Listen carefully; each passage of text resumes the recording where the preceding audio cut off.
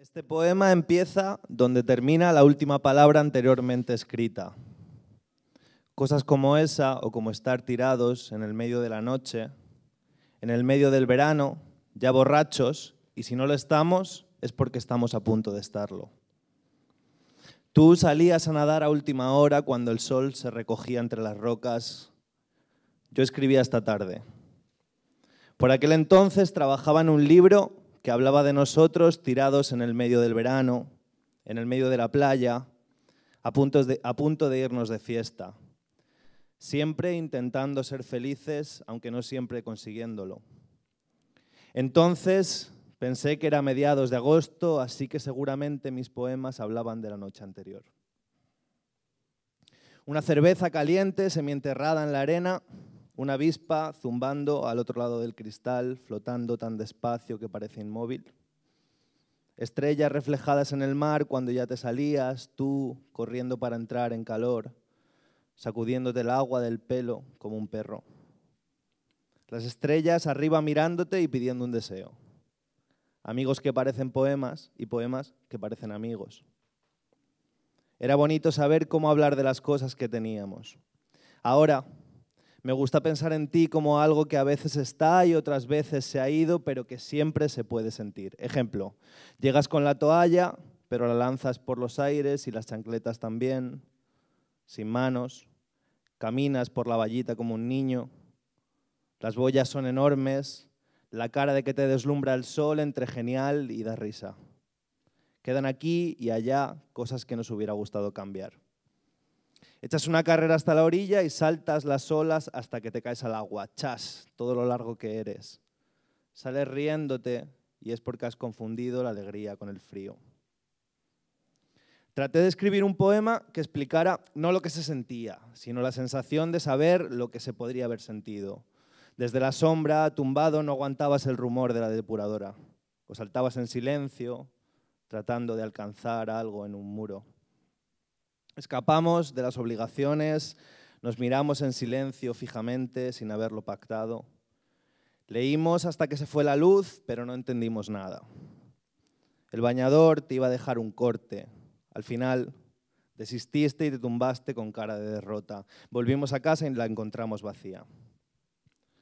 Recuerdo que de pronto, en medio de una fiesta, me preguntaba cómo recordaría aquel momento cuando pasara el tiempo o si lo recordaría. Es el mar soñando que lo atraviesa sanado y le gusta. Otro email con fotos de paisajes tropicales que ha dado la vuelta al mundo de ordenador en ordenador. Y al final del sueño te encontraba en la playa. Y detrás de la playa había un bosque. Mirando cómo los árboles se agitaban, también se podía pensar en el mar.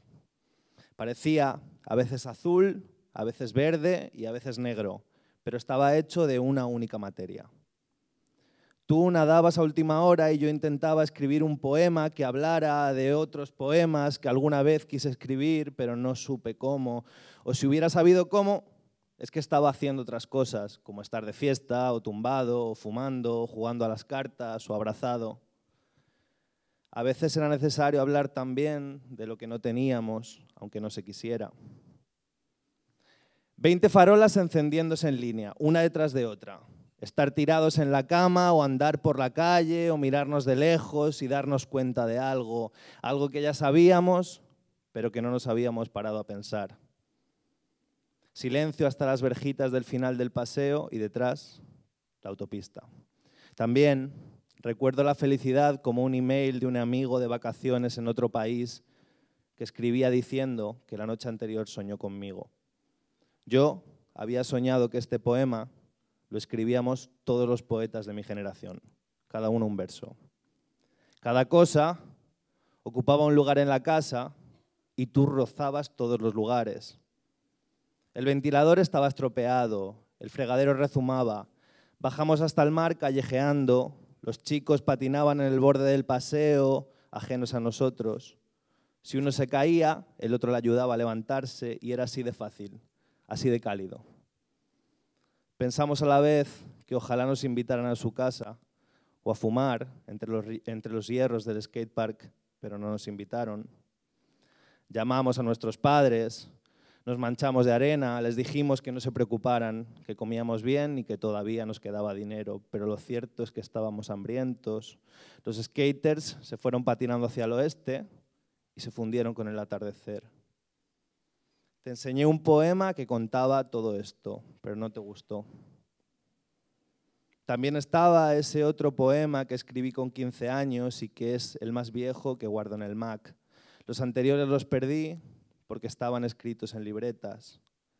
Hablaba de unos chicos en el medio del verano, muy borrachos, coreando a gritos una canción de Disney y que lo mismo después fuimos nosotros, todo grande, brillante, como que da gusto verlo, y detrás la luna alta.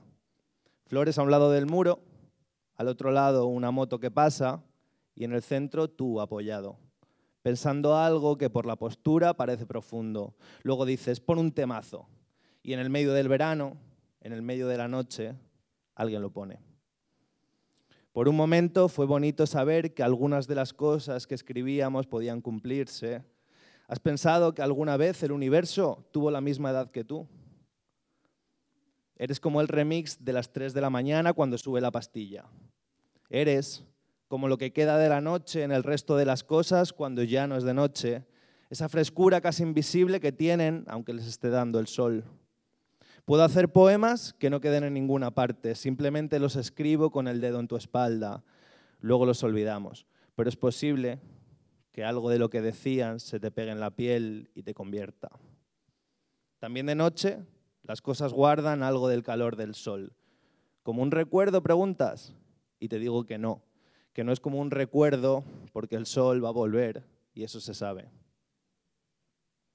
Los hielos se habían derretido en un rincón, la bebida se aguaba y el ritmo de la música era demasiado lento, una playlist suicida vibrando en las copas monótonamente. Alguien decía algo del trabajo y alguien le respondía que sí, solo asintiendo. También alguien parecía a punto de llorar por algo que había explicado pero que nadie terminó de entender y miraba el móvil agitado y en un momento de la noche desapareció sin que nos diéramos cuenta. Era la fiesta más triste en la que nunca hubiera estado. Con un gesto me hiciste saber que querías irte, salimos sin abrigo, nos colamos en la casa abandonada, nos colamos en el viejo hospital, el viento nos lanzó por avenidas donde no había árboles, o sí que había árboles pero no los vimos. Fue alegre sentir el frío en la cara y correr hasta que la nicotina nos ardía en el pecho y entonces nos tumbamos. Boca arriba, en el medio de la noche, en el medio del césped, con los ojos cerrados, escuchamos a lo lejos la autopista y con un esfuerzo nos imaginamos que era el ruido del mar. Quiero hacer un poema que suene de esta forma, te dije, y con el cielo entero encima susurraste, un himno extraño para un extraño siglo. Muchas gracias.